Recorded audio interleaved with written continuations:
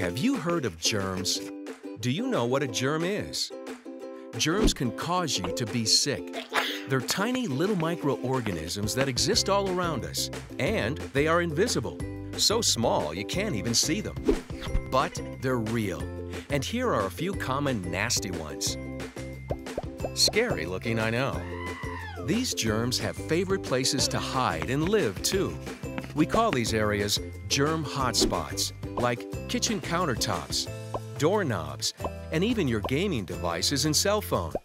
And they love to live in your bathroom. If you don't kill these germs, they can spread and get on you and then inside you and make you sick. But here is the good news.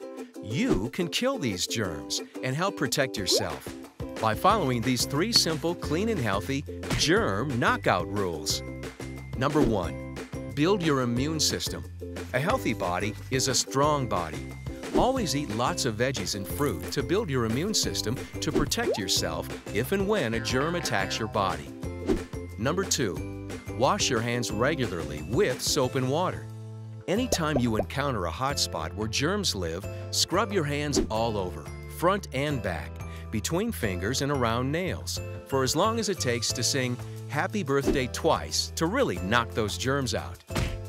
And three, germs love to spread from one sick person to another, so try to keep your germs to yourself. Cough or sneeze into the crook of your elbow to keep your hands clean and your germs contained. Then wash your hands. Just remember, germs are out there, and they can make you sick. Do your best to help prevent the spread of germs and knock them out. A message from Cincinnati Children's.